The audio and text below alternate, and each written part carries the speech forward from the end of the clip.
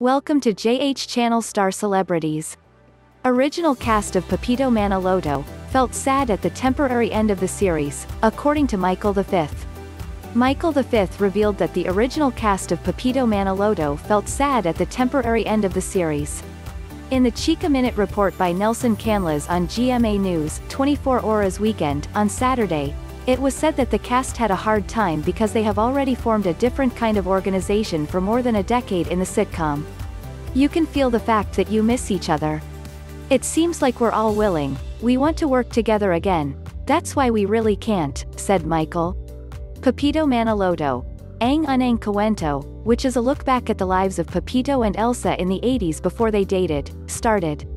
They will know how to live in the 80s, they will see the behavior of Pepito, Elsa and our colleagues back then, said Manilyn Reynes. Because we need to jump again to know how we will approach another season. And this first story is a big part of that because here we will take the lessons that we will learn, said Michael. Sef Cadayona will play the young Pepito while Mikee Quintos will play the young Elsa.